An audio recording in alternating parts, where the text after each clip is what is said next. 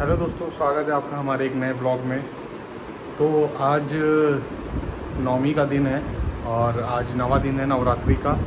तो जिसमें आज हम लोग दुर्गा पूजा घूमने जा रहे हैं। हमारे शहर में थोड़ी बहुत पूजा लगी है तो तैयारी हो चुकी है, देखिए, हम लोग तैयार हो चुके हैं। और चलते हैं हम लोग पूजा घूमते हैं, आपको दिखाते हैं कि हमारे शहर में कैसी पूजा लगती है। ये भी तैयार हो चुकी है, देखिए तैयारी हो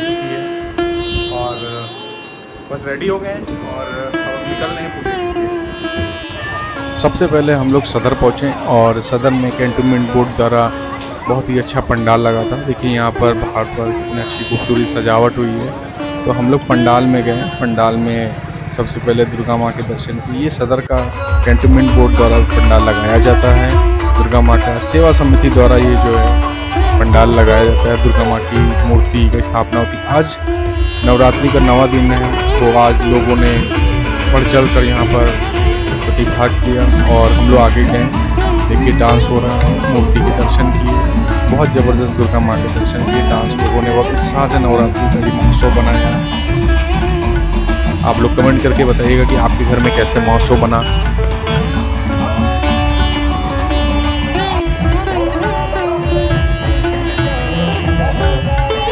की लेडी से देखिए कितना ज़बरदस्त डांस कर रही हैं। सब लोग ने नवरात्रि का महोत्सव बहुत अच्छा बनाया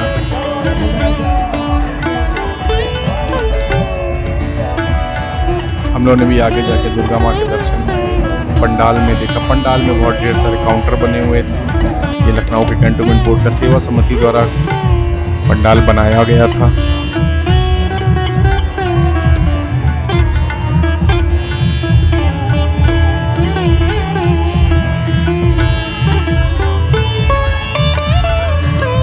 तो दोस्तों, यहाँ के दर्शन हो चुके हैं। अब हम लोग चलते हैं दूसरी तरफ़, दूसरे पंडाल में।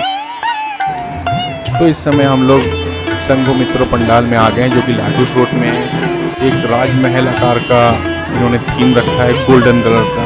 गोल्डन कलर की मूर्ति रखी, कितनी खूबसूरत पंडाल बनाया है। लखनऊ में मुझे लग रहा है सबसे खूबसूरत पंडाल यही है, जो कि बहुत ज़बरदस्त पंडाल बनाया हुआ है। हम लोगों ने लाइन लग के आगे दर्शन किए, चलते हैं, आगे दर्शन करते हैं चल के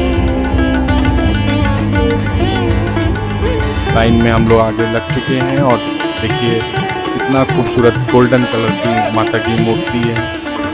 लोगों की भीड़ बढ़ चढ़ कर थी। आज नौ नवरात्रि का नवा दिन था तो लोगों ने आज बढ़ चढ़ कर यहाँ पर प्रतिभाग किया और दुर्गा माँ का पंडाल बहुत खूबसूरत सजाया।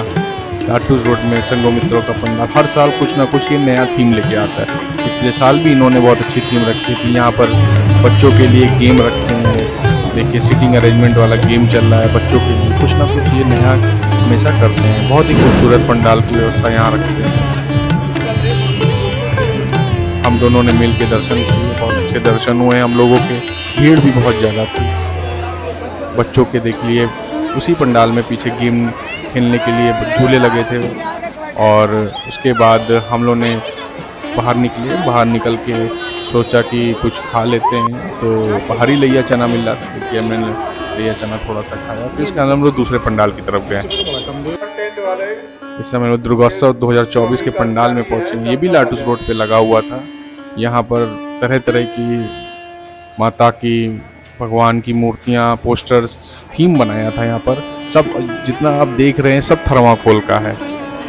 सब थर्माकोल की डिज़ाइन बना के रखी है। और वो खूबसूरत पंडाल बनाया है। थर्माकोल के डिज़ाइन का। ये पूरी गैलरी बनी हुई है खूबसूरत सी, थर्माकोल की डिज़ाइन बहुत मेहनत लगती है पंडाल में लोगों को बनाने में। हम लोग देखने आते हैं, उत्साह करते हैं लोगों को। पंडाल के अंदर भी देखिए थर्माकोल का कितना अच्छा काम हुआ है। कितने ज़बरदस्त पोस्टर लगे हुए हैं माता की मूर्ति। और ज़बरदस्त लगी भीड़ जो है की है, कमी नहीं हो रही है। नवा दिन है, आज लास्ट दिन है। कल दशहरा है तो कल सबका विसर्जन हो जाएगा। तो आज लोगों ने बढ़ चढ़ कर भाग किया यहाँ पर आकर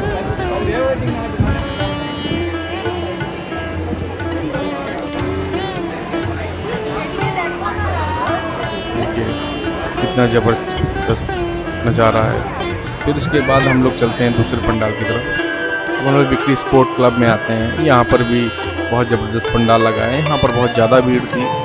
देखिए, भीड़ कितनी ज़्यादा है। कि लाइन लगा के हम लोग को आगे जाना पड़ता है।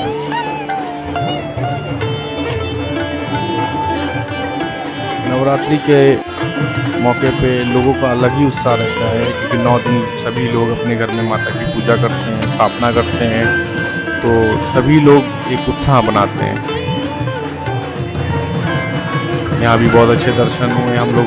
अब चलते हैं हम लोग दूसरे पंडाल की तरफ़। इस समय हम लोग लास्ट पंडाल में आते हैं। लातूस रोड पे ये भी पंडाल बहुत ज़बरदस्त ज़बरदस्त लगता है, जहाँ पर यहाँ पर काउंटर बहुत अच्छे अच्छे बनते हैं। खाने पीने की व्यवस्था बहुत अच्छी रहती है और दुर्गा माँ का पंडाल भी बहुत अच्छा लगता है। देखिए, लोग खरीदारी कर रहे हैं, खा रहे हैं, पी रहे हैं और माता के दर्शन भी कर रहे हैं। भीड़ की कोई कमी नहीं, रात के ग्यारह बज रहे हैं, फिर भी भीड़ की कोई कमी नहीं है।